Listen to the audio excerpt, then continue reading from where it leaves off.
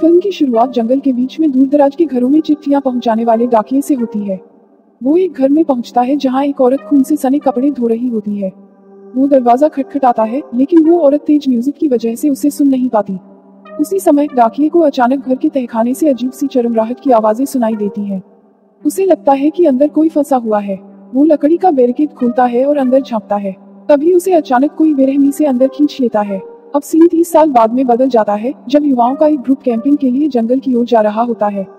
इस ट्रिप को offline vacation कहा जाता है, जहाँ इन युवाओं को उनके माता पिता ने इंटरनेट और गैजेट की लत के कारण भेजा है। उनके पहुँचने पर मैनेजर उनका स्वागत करता है और कहता है कि ये उनकी लत पर काबू पाने और प्रकृति के करीब जाने का एक सुनहरा अवसर है। पचास युवाओं को टीमों में डिवाइड किया जाता है, हर ग्रुप को एक गार्डियन सौंपा जाता है। फिर उन्हें अपने फ़ोन वापस करने और ट्रिप के लिए तैयार होने के लिए कहा जाता है। जंगल के एक केबिन में हम तीस साल पहले की उसी औरत को देखते हैं, लेकिन अब वो बहुत बूढ़ी हो गई है। उसने एक हिरण का शिकार किया है और उसे तहखाने में खींचने की कोशिश कर रही है। बदकिस्मती से वो फिसल कर तहखाने में गिर जाती है। फ़ौरन वहाँ एक मॉन्स्ट्रस क्रिएचर आता है और एक पल में ही उस औरत को मार देता है। अगले सीन में सभी युवा जंगल में तीन दिन की पैदल सफारी के लिए तैयार हो रहे हैं। फिर हम काउंसलर इजा के ग्रुप को देखते हैं, जिसमें पाँच युवा शामिल हैं। शाम जोसिया एथलेटिक डैनियल सुनहरे बालों वाली चंचल एनेलिया गेमर जूलिक और बार्टिक नाम का एक गे लड़का उनके जाने से पहले एक लोकल प्रीस्ट यानी पादरी वहाँ एक शानदार कार में आता है और सभी को वेलकम करता है। वो कहता है कि आधुनिक तकनीक बच्चों के लिए सबसे बड़ा खतरा है और उम्मीद करते हैं कि वे अपनी लत पर काबू पा लेंगे। वो सभी युवाओं के लिए प्रार्थना करता है और उनके सेलफोन और लैपटॉप पर पवित्र जल भी छिड़कता है। इसके बाद इजा का ग्रुप कैंपिंग के लिए निकल पड़ता है और इस दौरान जूलिक जोसिया में इंटरेस्ट दिखाता है। वो कहता है कि उसका नेकलेस उसे टर्मिनेटर टी एट हंड्रेड की याद दिलाता है। ये सुनकर जोसिया हंसती है और बताती है कि ये उसके परिवार की यादगार वस्तु है। इस बीच डेनियल एनेलिया के साथ फ्लट करने की कोशिश करता है, लेकिन बाटिक लगातार उसे बीच में रोकता है। चिड़कर डेनियल बाटिक पर भी विरोधी कमेंट्स करके उसका इंसल्ट करना शुरू कर देता है। फिर दोनों के बीच हाथापाई हो जाती है और डेनियल बार्टिक को ज़मीन पर धकेल देता है, जिससे बार्टिक के पैर पर चोट लग जाती है। लकीली, मामला बढ़ने से पहले दूसरे लोग बीच में आ जाते हैं और उन्हें अलग कर देते हैं। कुछ देर बाद जब जूलिक कुछ दूरी पर पेशाब के लिए जाता है तो उसे एक फटा हुआ हिरण का शव दिखाई देता है। ये सोचकर कि कोई बड़ा जानवर पास में है, वो डर जाता है और सभी को जाँच करने के लिए बुलाता है। लेकिन इजा समझाती है कि ये शिकारियों द्वारा बिछाया गया एक जाल है और उन्हें आगे चलते रहने का निर्देश देती है। जोसिया फिर इधर उधर देखती है और एक पेड़ के पास अजीब से हाथ की झलक देखती है। वो डर जाती है, लेकिन वो चुप रहती है और किसी को नहीं बताती। वो इसे प्रकृति का ही एक हिस्सा मानती है। बाद में ग्रुप जंगल के बीच में अपना कैंप लगाते हैं। फिर वे आग जलाकर चारों ओर बैठते हैं और एक दूसरे को अपने जीवन के बारे में साझा करना शुरू करते हैं। जूलिक ने खुलासा किया कि वो एक गेमर है और उसका यूट्यूब चैनल एक मिलियन सब्सक्राइबर वाला है। वो अक्सर गेम खेलने के लिए स्कूल छोड़ देता था, जिससे उसके माता पिता नाराज़ हो जाते थे। वो आगे बताता है कि वो पाँच लाख डॉलर के इनाम वाली प्रतियोगिता के लिए कोरिया जाने वाला था। हालाँकि उसके माता पिता ने मना कर दिया और उसे इस कैंपिंग ट्रिप पर भेज दिया। रात में सभी सो जाते हैं। लेकिन डेनियल बेचैन महसूस करता है, इसलिए वो स्मोक करने के लिए पास की झील पर जाता है। कुछ ही देर बाद एनेलिया भी उसके साथ आ जाती है और वो भी स्मोक करना शुरू कर देती है। फिर दोनों फ्लर्ट करना शुरू करते हैं। उनकी बातचीत के दौरान एनेलिया को पता चलता है कि डेनियल अभी भी कुंवारा है। वो उसे उसके जीवन की सबसे अच्छी रात देने का फैसला करती है और उसके साथ इंटरनेट हो जाती है। उनके खत्म होने के बाद एनेलिया अपने टेंट में वापस आ जाती है, जबकि डेनियल अपने जेब से छिपाया हुआ फ़ोन निकालता है और डेटिंग ऐप पर लड़कियों को स्वाइप करना शुरू कर देता है। इस बात से अनजान की कोई उसके पीछे छिपा हुआ है। कुछ ही सेकंड बाद शरीर पर फोड़े फुंसियों वाला एक विकृत विशालकाय आदमी डेनियल पर हमला करता है। वो उसे बड़े बेरहमी से बार बार पेट पर पटक पटक कर मार डालता है। अगले सीन में हम जोसिया को अपने परिवार के साथ एक रोड ट्रिप पर देखते हैं, जो बहुत खुश दिख रही है। वो अपनी बहन के साथ पिछली सीट पर खेल रही है, जबकि उसके पापा उसकी माँ के साथ सेल्फी ले रहे हैं। ध्यान हटने की वजह से उनकी कार का भयानक एक्सीडेंट होता है। तभी जोसिया एक बुरे सपने से जागती है और ऐसा लगता है कि उसका पूरा परिवार उसका एक्सीडेंट में मर गया। इसके बाद ग्रुप लंबी पैदल सफ़र के एक और दिन की तैयारी करता है, लेकिन उन्हें डैनियल कहीं नहीं दिखता। हर कोई चिंतित हो जाता है और एनेलिया बताती है कि उसने उसे कल रात झील पर देखा था। वो बताती है कि वे अपने टेंट में वापस जाने से पहले कुछ देर बात करते रहे। जब वे झील पर पहुंचकर डैनियल को ढूंढते हैं, लेकिन इसके बजाय उन्हें पेड़ पर खून के धब्बे दिखते हैं। अब सब घबराने लगते हैं, लेकिन इजा उन्हें आश्वस्त करती है कि ये खून नहीं बल्कि पेड़ का रस है। इसके बाद इजा अनाउंस करती है कि उन्हें अलग हो जाना चाहिए और डैनियल की तलाश करनी चाहिए। जूलिक डरा हुआ है और बताता है कि कैसे डरावनी फ़िल्मों में जब ग्रुप बिखर जाता है तो हर कोई मर जाता है। वो सुझाव देता है कि वे साथ रहें, लेकिन हर कोई उसकी सलाह को नजरअंदाज कर देता है। इजा, जोसिया और जूलिक फिर डैनियल की तलाश में आगे निकल जाते हैं। जबकि अन्य दो उसके वापस लौटने की स्थिति में पीछे रह जाते हैं। कुछ ही समय बाद तीनों फ़िल्म की शुरुआत में दिखाई देने वाले घर में पहुँचते हैं। वे मदद लेने के लिए अंदर जाने का फैसला करते हैं, लेकिन वहाँ कोई नहीं मिलता। फिर वे इधर उधर ताक झाँक करना शुरू करते हैं और आखिरकार बेसमेंट में घुस जाते हैं, जहाँ वे डैनियल सहित कई लाशों को देखकर काफ़ी डर जाते हैं। इससे पहले कि वे कुछ कर पाते, वहीं विकृत विशालकाय आदमी उसी घर में पहुँच जाता है। और ग्रुप को बेसमेंट का दरवाज़ा बंद करके छिपना पड़ता है। जूलिक लाशों की गंध से लगभग उल्टी करने लगता है, लेकिन इजा उसे रोकती है। कुछ देर बाद हत्यारा भी बेसमेंट में आता है, जिससे डरकर ग्रुप के सभी लोग खिड़की से भागने की बेताबी से कोशिश करते हैं। जोसिया और जूलिक भागने में सफल हो जाते हैं, लेकिन जब इजा भागने की कोशिश करती है तो वो देखती है कि डैनियल का फ़ोन उसकी जेब में बज रहा है। फ़ोन पाने के लिए इजा पीछे रह जाती है और उस राक्षस से लड़ने के लिए तैयार हो जाती है। लेकिन अफसोस के लिए उसकी एक गंभीर गलती साबित होती है, क्योंकि हत्यारा आसानी से इजा पर हावी हो जाता है। फिर वो इजा का सिर काटकर बेसमेंट के बाहर जोसिया और जूलिक के पैरों पर फेंक देता है। ये देख दोनों तुरंत वहाँ से भाग जाते हैं। इस बीच एनिलिया और बाटिक झील के किनारे बात कर रहे हैं।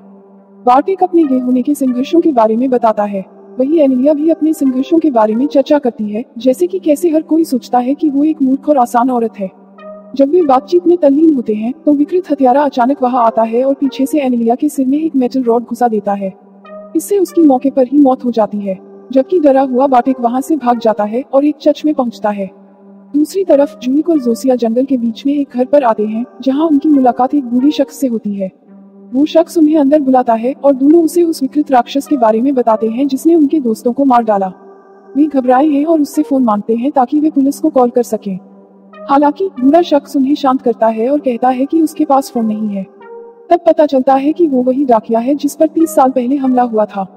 घटना में उसने अपने पैर खो दिए थे, लेकिन किसी तरह वो भागने में सफल रहा। फिर उस बुढ़े डाकिया ने खुलासा किया कि एक नहीं, बल्कि दो विशाल विशालकाय हत्यारे हैं। वे जुड़वा भाई हैं जो कभी सामान्य बच्चे थे, लेकिन एक दिन जंगल में खेलते समय उन्हें एक दुर्घटनाग्रस्त विमान के मलबे में एक अजीब पत्थर मिला। जुड़वा बच्चे पत्थर लेकर घर चले आए। रात में पत्थर से एक काला तरल निकला और जुड़वा बच्चों के शरीर में प्रवेश कर गया, जिससे वे क्रूर मांसाहारी बन गए। उनकी माँ अगली सुबह अपने बेटों को, उनके कुत्ते को खाते हुए देखती है। फिर उसने उन्हें तहखाने में बंद कर दिया और उन्हें खिलाने के लिए वो हमेशा जानवरों का शिकार करती रही। ये कहने के बाद बुरा शख्स सुझाव देता है कि वे वही रही क्योंकि उसके पास हथियार और खाना है। जूलिक का मानना कि ये एक अच्छा विचार है, हालाँकि जोसिया ज़ोर देकर कहती है कि वे बिना कुछ किए नहीं रह सकते। वो डैनियल का फ़ोन वापस लेने और पुलिस को बुलाने का फैसला करती है, जिससे जूलिक के पास उसका पीछा करने के अलावा और कोई विकल्प नहीं रह जाता। दूसरी तरफ़ बाटिक उस पादरी से मिलता है, जिसे हमने मूवी के शुरू में देखा था। बाटिक पादरी को पागलों की तरह पूरी कहानी समझाता है और पुलिस को बुलाने के लिए फ़ोन माँगता है। पादरी दावा करते हैं कि उसके पास एक फ़ोन है, लेकिन इस एरिया में कोई सिग्नल नहीं है। हालाँकि कुछ सेकंड बाद टेलीफोन बजना शुरू हो जाता है, जिससे उसका धोखा उजागर हो जाता है। फिर पादरी तेज़ी से बाटिक के सिर पर वार करता है, जिससे वो बेहोश हो जाता है। थोड़ी देर बाद बाटिक खुद को एक कुर्सी से बंधा हुआ और मुँह बंद किए हुए पाता है। पादरी उसके सामने बैठता है और दावा करता है कि वो बाटिक को तब से जानता है जब वो पिछले साल पहली बार यहाँ आया था।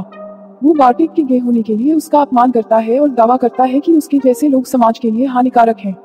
तभी पादरी को बाहर शोर सुनाई देता है और वो जाँच करने जाता है। अचानक विकृत हत्यारा उसके पास आता है, जो पादरी की खोपड़ी को कुचल देता है और उसकी हत्या कर देता है। फिर हत्यारा पादरी के शरीर को टुकड़ों में काटने के लिए लकड़ी के टुकड़े का उपयोग करता है। चर्च के अंदर बाटिक खुद को छुड़ाने में कामयाब हो जाता है। जब वो किसी के आने की आवाज़ सुनता है तो वो कन्फेशनल बॉक्स में छिपने की कोशिश करता है, लेकिन हत्यारा उसे ढूंढ लेता है। इस बीच, जोसिया और जुलिक फ़ोन को वापस लेने के लिए हत्यारे के घर पहुँचते हैं। प्लान ये था कि जूलिक को कुछ शोर करके हत्यारे का ध्यान भटकाना है, जबकि जोसिया फ़ोन को हथियाने के लिए तहखाने में घुसे। जाने से पहले, जोसिया जूलिक को अपनी हिफाजत के लिए एक चाकू थमाती है और उसे चुनती भी है। इससे जूलिक का आत्मविश्वास इतना बढ़ जाता है कि वो सीधा सामने के दरवाजे पर जाता है और राक्षस को बाहर आने की चुनौती देता है। हत्यारा जल्द ही सामने आता है और जूलिक उससे लड़ने की कोशिश करता है। इस बीच जोसिया बेसमेंट में जाती है और डैनियल का फ़ोन ढूंढती है। वो आखिरकार फ़ोन को ढूंढ ही लेती है, लेकिन जल्द ही उसे एहसास होता है कि हत्यारा अब उसे घूर रहा है। जब उसे लगता है कि वो अपनी मौत को देख रही है, तभी जूलिक आता है और राक्षस को चाकू मार देता है।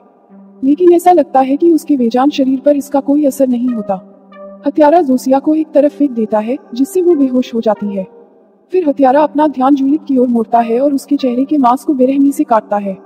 बेहोश होने पर जोसिया फिर से अपने परिवार के साथ हुई दुर्घटना का सपना देखती है। वो देखती है कि उसके पिता उसका एक्सीडेंट में बच गए हैं, लेकिन गंभीर रूप से घायल हैं। वो हॉन्ट रहे हैं और मदद के लिए विनती कर रहे हैं, लेकिन पूरी कोशिशों के बावजूद जोसिया अपने पापा की मदद नहीं कर पाती। तभी वो बेसमेंट में जागती है और खुद को जंजीरों में जकड़ा हुआ पाती है। वो जूलित को पास में देखती है, जो बुरी तरह घायल है और उसके पेट में चाकू घोंपा गया है। फिर वो अपनी जेब से डैनियल का फ़ोन निकालती है, लेकिन उसकी बैटरी जल्दी खत्म हो जाती है और बंद हो जाती है। असहाय महसूस करते हुए जूलिक उसे खत्म करने के लिए कहता है, ये कहते हुए कि वो अब दर्द सहन नहीं कर सकता। फिर जोसिया रोती है और न चाहते हुए भी वो चाकू को उसके पेट में घुमाती है, जिससे जूलिक की पीड़ा हमेशा के लिए खत्म हो जाती है। इसके बाद जोसिया खुद को जंजीर से मुक्त करने के लिए चाकू का इस्तेमाल करती है। सबसे पहले, जोसिया बेसमेंट की खिड़की से भागने के बारे में सोचती है, लेकिन जब उसे अपने सभी मृत दोस्तों की याद आती है तो उसे एहसास होता है कि वो इन राक्षसों का सामना किए बिना नहीं जाएगी। ऊपर, जोसिया को कमरे में एक विशाल चाकू पड़ा हुआ मिलता है और वो उसे लेती है। वो देखती है कि जुड़वा राक्षस बच्चों में से एक बिस्तर पर खर्राटे ले रहा है, जबकि दूसरा घर पर नहीं है। प्रतिशोध से भरी हुई, जोसिया राक्षस को बार बार तब तक चाकू मारती है, जब तक कि वो आखिरकार हिलना बंद नहीं कर देता। फिर वो उस जगह से निकल जाती है और भाग जाती है। इस बीच पूरा डाकिया अपने घर के अंदर होता है। तभी कोई दरवाज़ा खटखटाता है। ये मानते हुए कि ये जुड़वा राक्षस ही होंगे, वो अपनी बंदूक पकड़ता है और दरवाजे पर कई बार गोली चलाता है। लेकिन जब वो जाँच करने जाता है तो उसे बाटिक की लाश मिलती है, जो वास्तव में हत्यारे के चंगुल से बच निकला था और सुरक्षित वापस लौटने का रास्ता तलाश रहा था। दूसरी तरफ़, जोसिया जंगल में घंटों भागती रहती है और आखिरकार एक पुलिसकर्मी से मिलती है। वो इतनी सदमे में है कि वो पुलिस को पूरी स्थिति समझा नहीं पाती। हालाँकि पुलिसकर्मी उसकी परेशानी को देखता है और उसे गले लगाकर अपने साथ गाड़ी से ले जाता है। लेकिन जल्द ही उन्हें सड़क पर दूसरा हत्यारा पड़ा हुआ दिखता है। पुलिसकर्मी को लगता है कि कोई मर चुका है। जोसिया के मना करने के बावजूद जाँच करने के लिए वो अपनी कार से बाहर निकलता है। जब पुलिसकर्मी हत्यारे को हिलते हुए देखता है तो वो अपनी बंदूक निकालता है और गोली चलाने की कोशिश करता है। लेकिन ऐसा करने से पहले, हत्यारा उसे कुल्हाड़ी से आसानी से काट देता है, जिससे उसकी दर्दनाक मौत हो जाती है। फिर वो कार के ऊपर चढ़ जाता है और जोसिया को चाकू मारने की कोशिश करता है। लेकिन जोसिया ड्राइवर की सीट तक पहुँचने में कामयाब हो जाती है और समय रहते कार स्टार्ट कर देती है। इससे हथियारा ज़मीन पर गिर जाता है और जोसिया इस मौके का फ़ायदा उठाकर उसे कई बार कुचल देती है। ये आश्वस्त होने के बाद कि वो हथियारा वास्तव में मर चुका है, वो वहाँ से भाग जाती है। अगले सीन में दो शराबी रात में सड़क पर पड़े उस हथियारे को देखते हैं। ताजुब की बात है कि वो हत्यारा अभी भी जीवित है और किसी तरह उठने में कामयाब हो जाता है। वहाँ घर पर पता चलता है कि उसका भाई भी चाकू के वार से बच गया है। फिर वो अपने बिस्तर से उठता है और अपने घर के बाहर पुलिस की रोशनी को देखता है।